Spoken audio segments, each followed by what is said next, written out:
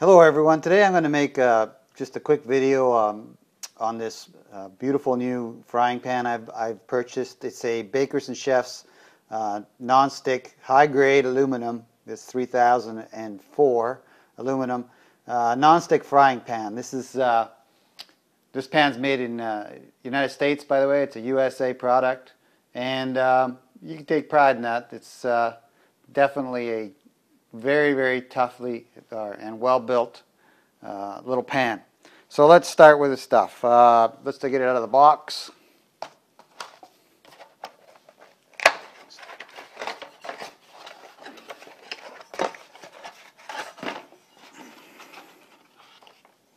Okay, right off the bat, you can see that it's a uh, satin brushed aluminum on the bottom, which is, you know, really, really nice.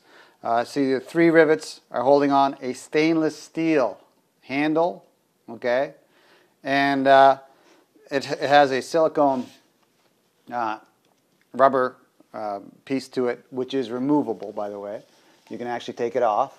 As, there you go. I'm just pulling it off. But I'll put it back on here. Excuse me. Uh, but it's on there pretty good, so it takes a little bit of, it's not going to just slip off on you. There it is anyway. Uh, it's non-stick as you can see. Um, the metal on it is extremely thick. Um, give you a look at the edge of it right there. And, and uh, here, I'll measure it out for you. Uh, put it down here.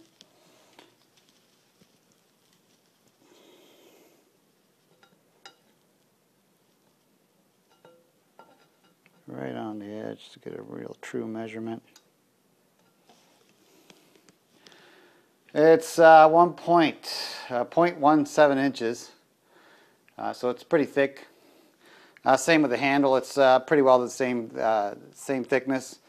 this is a heavy duty restaurant quality nonstick pan.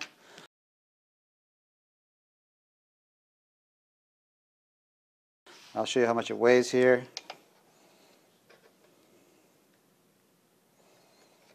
And yes, it's going to cost more than your cheap Walmart pan. Let me make sure that's zeroed out. Okay. It weighs 29.9 ounces. Okay. So let's compare that to a cheap one, a cheap uh, 10 inch pan, and see what the difference is here. Well, that one weighs 20 ounces. It's got a plastic handle. It's about I'd say about half the thickness. And pretty well you can, you can, you know, just call this a throwaway pan. When it's done, you just throw it away, right? Now this, this pan has a, on it, you know, an excellent quality pan. Um, what I want to say about it also is uh, if make sure you take care of these pans, they'll last you a very long time. Uh, in, in the do's and don'ts for, for care on a non-stick pan, and this applies to all non-stick pans, not just this one, and that is let it cool down before you wash it. Do not take it from the burner to the tap. It'll warp the metal. It just, you know, metal doesn't take kindly to being uh, unevenly cooled. Okay? So let it just sit and uh, uh, cool on your stove top.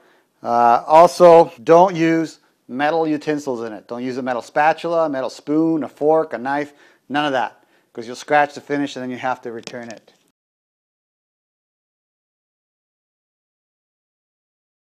Do not place the pan on high, okay? You don't need the pan on a red hot burner. That's just not smart. Keep it at a lower heat, medium, and uh, that'll, that'll protect the coating as well. If you overheat it, you will peel the coating.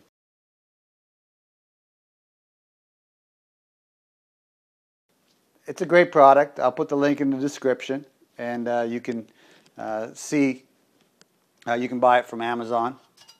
And as you can see, the rivets are just super solid rivets. Uh, once again, this pan will last you a very long time. I definitely think it's worth the extra money. Thanks for watching.